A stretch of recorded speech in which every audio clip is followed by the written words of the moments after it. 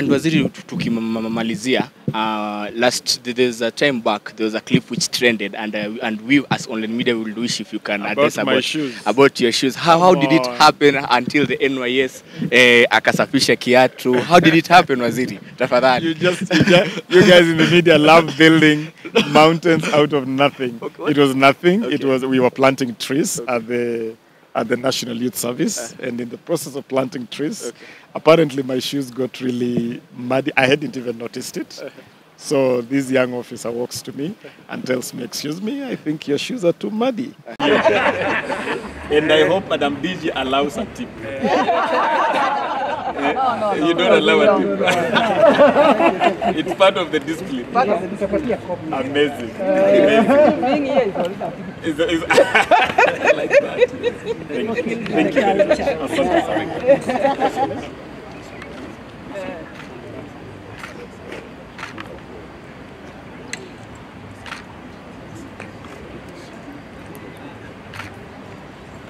To just come together and chart our way forward for the creative industry. yes, yes. And, and the creative space we are talking about, um, the whole art space, music, fine art or visual art.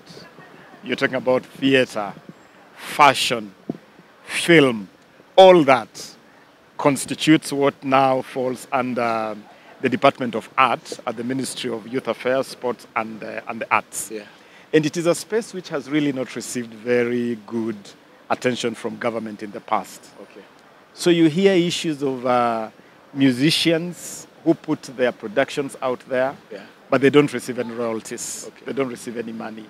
We are listening to their music on Skiza, uh, Ringback Tones. We are watching their music on TV, on radio. When you get into a matatu, their music is playing, but they don't see any money. yeah Uh, and so today was an opportunity for us to discuss how can we fix that? How can we get pesa mfukoni to artists? yeah You have uh, fine artists or what you call visual artists who do amazing work, but they're really not getting money out of it. Yeah. People who want to get into the film industry. So today, I convened the stakeholders in this sector for us to start a journey that can turn the creatives into a mega industry, an industry that can provide employment for our young people and also be a big contribution, contributor to GDP, Yeah. to, to, to contribute to our economic growth. yeah And uh, I'm glad that we have agreed on a, a number of key things. We want to create a digital space, and I'm glad that you guys operate within the digital space. We want to create digital space. We, we are launching a portal called the Talanta Hela portal, which is going to be a platform where you can uh, bring your creativity, record whatever you want to record, put it up there. We'll have people who will assess it. If you have talent, we'll give you an opportunity to grow your talent through the Kenya Academy of Sports and Art. We want to market your art so that we can turn you into a megastar. okay Um, we also want to increase revenues to artists through different ways.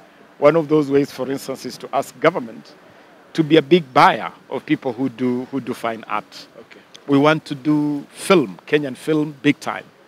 We want to increase local content in our, in our local media so that Kenyans can watch and listen to more Kenyan content, Okay. to more African content. So we have a lot of good things which we have agreed on. And uh, it's a journey which is exciting for me because it gives us an opportunity to turn the creative space into a mega industry.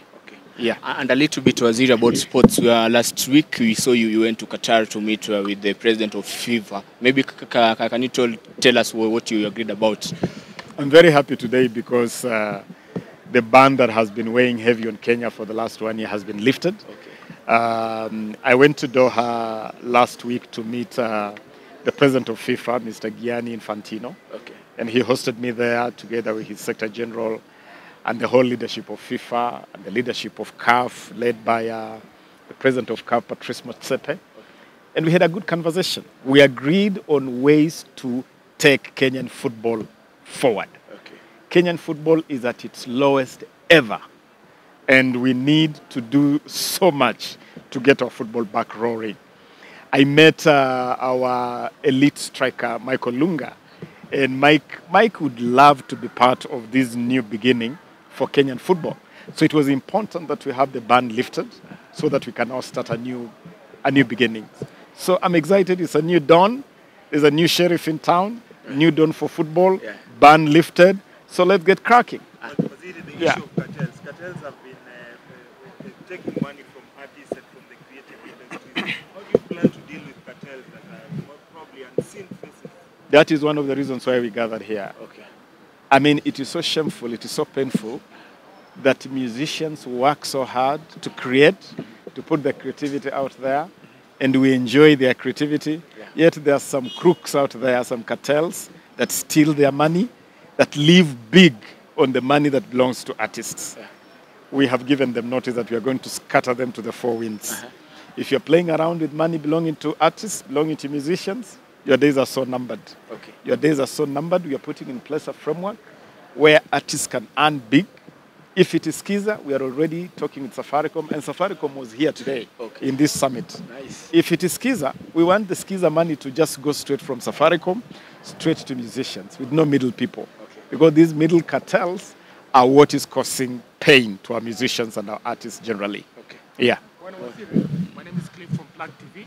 Uh, recently, we saw one of the rugby players, William Buck, um, complaining about the payment. They have not been paid for the past three months. Kindly address that issue. It is very painful. Uh, it's very painful. Today I did many things. Today I did uh, I did art here. Yeah. I did rugby. I did football. I did athletics. Okay. One of the things I did today was to hold a meeting with the leadership of the Kenya Rugby Union, the federation that is responsible for rugby. I literally read the riot act to them. I've told them with in no uncertain term that they have to style up. They have responsibility for rugby. They have to style up. Okay. They can't be living large, throwing around money that is meant for players, and letting players go hungry. I have told them in no uncertain term that they have to style up or ship out. You can't send players to Dubai. You've not paid them salaries for three months. You've not given them any allowances.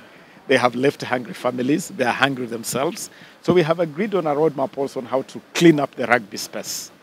We are going to get more sponsorship into rugby. But I've asked the Kenya Rugby Union to clean their house and become more accountable, more transparent in the way they utilize the resources that we give them. I have also directed that um, all these players' allowances be paid immediately, but I've said these allowances are not going to go to the union. We will pay them direct to the players' accounts themselves so that nobody will have a chance to mess up with this money Yeah, yeah. that is meant for, for players. Okay. And in future, I've asked all sports people, please bring your requests to us in good time. We don't want to run sports through crisis management. If we had known about these issues in good time, it would never have got this far. But Peter Sindwele, we are here Yeah. to make it, I mean, to make it clear to our players that we'll, de we'll definitely take better care of you. And waziri tu- tukimalizia uh, last there's a time back there was a clip which trended and uh, and we as online media will wish if you can About address my about shoes. about your shoes how, how did it happen until the NYS eh, akasafisha kiatu how did it happen waziri tafadhali You just, you, just, you guys in the media love building mountains out of nothing. Okay, what? It was nothing. Okay. It was we were planting trees okay. at the at the National Youth Service, uh-huh. and in the process of planting trees, Okay. apparently my shoes got really muddy. I hadn't even noticed it. Uh-huh. So this young officer walks to me and tells me, "Excuse me, I think your shoes are too muddy." Uh-huh. I look down and I find that my shoes were actually muddy. But I tell him, "Forget about it. It's nothing. I don't think it's anything. I'll get to the office and we'll clean the shoes." He said, "No, I can't let my." My, my boss go around in dirty shoes. And his superior said, please don't say no to the young man. Okay. Don't say no because the, our part of our training is to discipline them to offer service. Okay. So I allowed the young man to, to clean my shoes. Uh, it was really uh, something spontaneous. It was not really planned. But of course, I give credit to you, media guys. You can really build Mount Kenya out of nothing.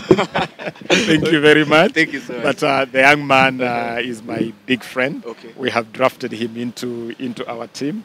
He has since been promoted to a corporal okay. uh, by the by the National uh, Youth Service. Okay. Next time you come to my office, uh -huh. he'll be welcoming you Thank as you part so of our security team. thank you so much So waziri all well, okay all asante good. San. Asante Asante San. thank you so much And I hope Madam DG allows a tip.